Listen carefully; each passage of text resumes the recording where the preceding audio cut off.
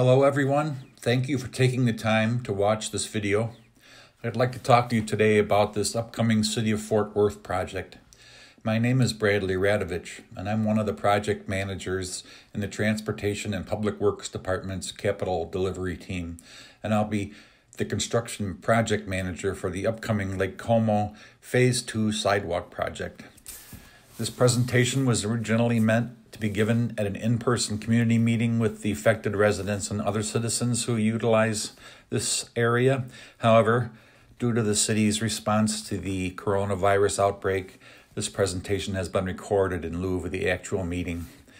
This presentation is meant to provide you with a little information about the scope of this project that's happening in your neighborhood and, and give you a little bit of a heads up about what to expect with the upcoming construction. Here's an agenda of what I've hoped to cover today in my brief presentation. I'll be talking about the project as a whole, providing some background on the project, reviewing the scope of work, and providing you with information on the phasing and schedule of the construction. I'll also cover some frequently asked questions towards the end of the presentation. The location of this project was selected in order to complete a continuous walking route for Lake Como. The route started with phase one of Lake Como sidewalks that have now been constructed and will be completed with this phase of the sidewalks. The project scope includes installation of sidewalks and pedestrian curb ramps to improve safety and walkability for pedestrians. City of Fort Worth, being one of the blue zone cities, encourages our residents to walk by providing them safe walking facilities. The project is funded by the Fort Worth Neighborhood Services Group. An in-person meeting with the Neighborhood Advisory Committee was conducted for this project during the design phase on January 27th of this year. We were happy to meet the residents and discuss the project. This slide shows the project location and limits. The limits are Lake Como Drive at the termination of Phase 1 sidewalks, Lake Avenue to Merrick Street, and Merrick Street connecting to the other side of the Phase 1 sidewalks. The sidewalks will be in installed along the east side of Lake Como Road and the north side of Locke Avenue, with a small section along the south side and on the west side of Merrick Street. The sidewalks will be made ADA accessible and include ADA compliant pedestrian curb ramps. There will be two major crossings that will have striping and advanced signage. During the design phase, the Neighborhood Advisory Council held a meeting on January 27, 2020, at the Lake Como Community Center.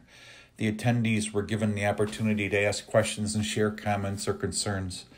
We wanted to share a couple of the questions and responses that were discussed at that meeting.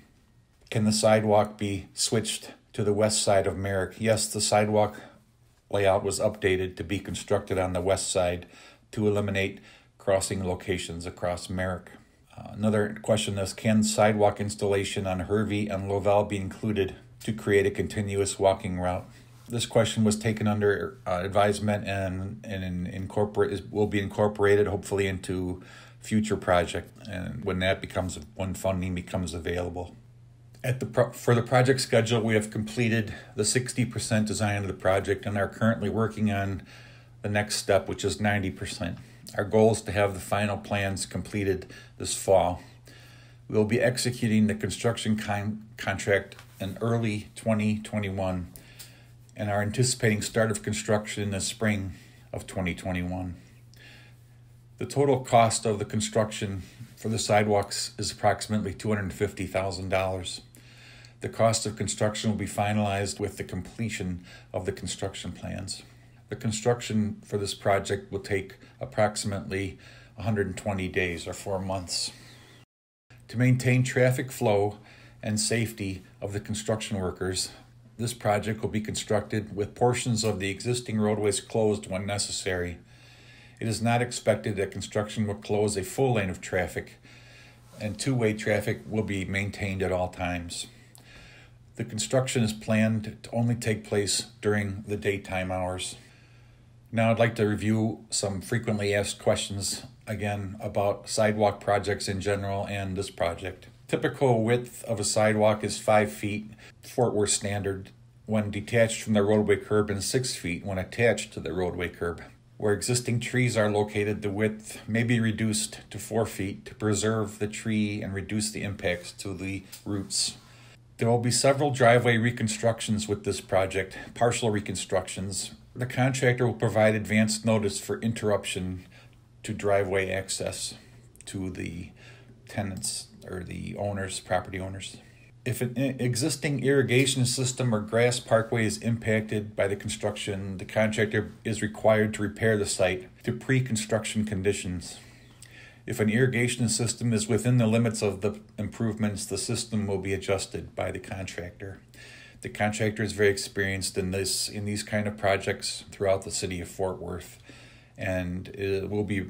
I think you'll find him very amenable to these situations. So, and the contractor will have to keep some materials and equipment on site during the construction. However, the travel lanes will be reopened and the contractor is required to clean the work site every day prior to leaving. As we move forward with this project, I'd like to share my contact information with you in case you have any further questions. We will have another public meeting, hopefully after the COVID is over and definitely before the construction starts where you'll be able to ask more questions in person, hopefully. We look forward to improving the infrastructure within the city of Fort Worth. So thank you for your time.